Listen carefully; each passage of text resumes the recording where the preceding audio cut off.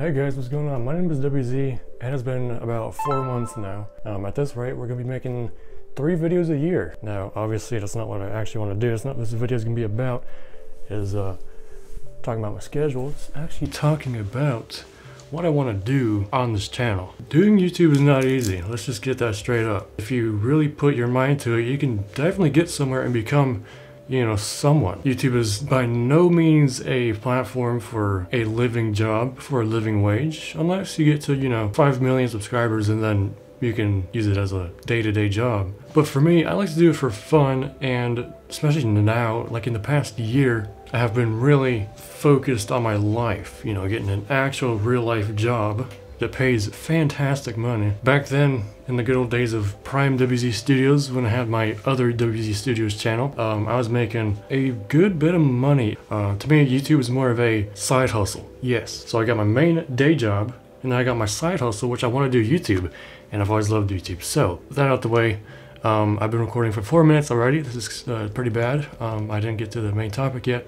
which is what I'm going to do in this LEGO community of the YouTube place. Um, what I want to do is instead of doing LEGO reviews, which is what the mass majority of the LEGO community does, you know, everyone goes out, goes on the first day, I scared my cat, goes out first day release and gets a new set and builds it and reviews it the same day, which to me sounds horrendous, you know. That sounds like a lot of pressure put on yourself and your mentality.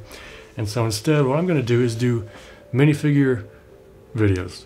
I think on my old channel, I made about, what, 50 minifigure videos, and it's my favorite type of video to make because it's so easy and it's it's fun. It's minifigures. Who doesn't like minifigures? And I have, I think, close to 1,200 figures now. And I just keep on getting these ideas in my mind, like, oh, it'd be cool if I did this, it'd be cool if I did that with the figures. And um, I have a setup. Um, it's going to be very, very similar to what I've done before with the deep black void. And uh, I'll give you guys a little rundown test of that in this video. And uh, yeah, we'll just, I guess we'll just got down to that part. All right, here it is. Does this look familiar? You can see how I have the black void. Can't really see much behind the figure. Um, that's the point. And I have this guy on a turntable. Look how cool. um, now, the turntable I'm using is hilarious.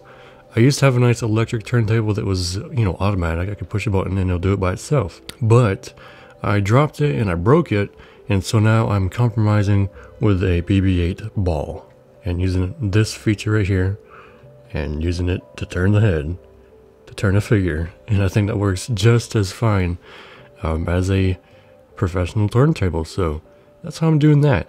Um, as far as the setup goes, um, it's just a lot of lights and a black background.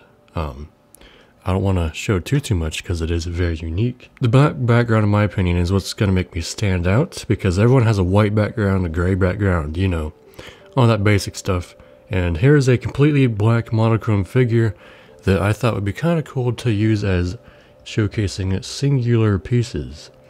Um, you can kind of see how he kind of just disappears and you can only see the highlights on his uh, peaks and all that. So if you're around from my other WZ Studios channel, this is obviously um, very familiar. Let's get up a different figure up here. And you know, it's kind of my idea of uh, making figure reviews. Like, be talking about King Kahuka and his flesh, how he's my favorite uh, island figure or pirate theme figure. And, uh, you know, they just look so good. And the contrast in color with a black background is what I like the most, really. And yeah, I plan on doing minifigure unboxings from Bricklink. I got a lot of figures I want to do and uh, show off, so this should be pretty fun. Here's my Sig Fig, I guess you could call it. This is uh, the rendition of my real life soul into a Lego figure. And uh, just do the outro right here. So that's to do it for this video. It's just a little update video of what the future videos are to be. And, um, you know, hoping it goes well. Hoping I can execute each video equally to each other and making the high quality minifigure videos that I hope and want to do. And yeah, that's about it. My name is WZ. If you guys are new here, go ahead and subscribe. I'll see you guys in the next video, which should not be four months from now. It should be a lot sooner than that. Anyways, thank you for watching. Peace.